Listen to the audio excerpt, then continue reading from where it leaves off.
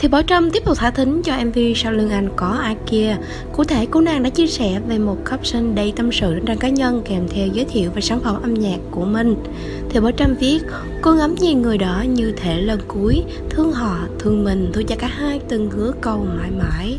Có nhớ ngày tháng khi cả hai bắt đầu từng chỉ có cô và anh.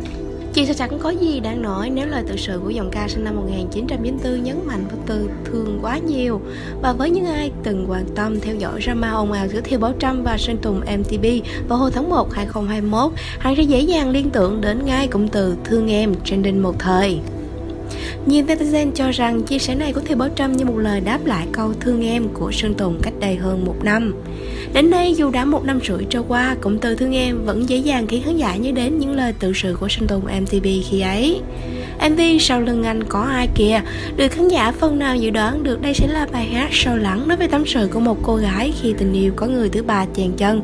Từ phần giới thiệu lyric được phía thì Bảo Trâm tung ra trước đó không lâu. Tạm cho nói đến từng câu từ của lyric đều gợi sự liên tưởng cao. Phần hình ảnh của sau lưng anh có ai kia cũng có điểm tương đồng không ít với poster MV chúng ta của hiện tại đình đám của sinh đồng MTV và gà cưng Hải Tú.